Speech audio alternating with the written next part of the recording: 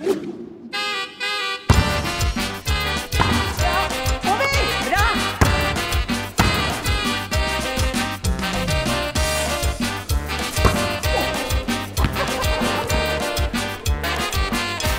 døde av kreft, hun døde av kreft, hun døde av demens. Halvparten er borte der, altså. Det vil si det er en som sluttet fordi hun tålte ikke å tape.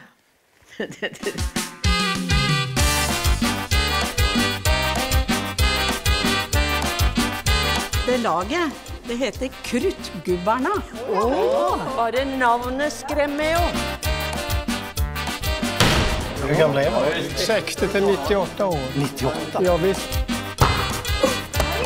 Det er litt interessant. Volleyballregler. Da får vi satse på at vi klarer å slå disse mennene. Vi vil ikke slå dem, vi vil heller gi dem en klem.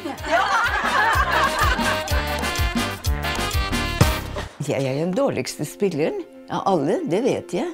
Men du skjønner at allikevel så syns de det er greit at jeg er med. For de er så gammel.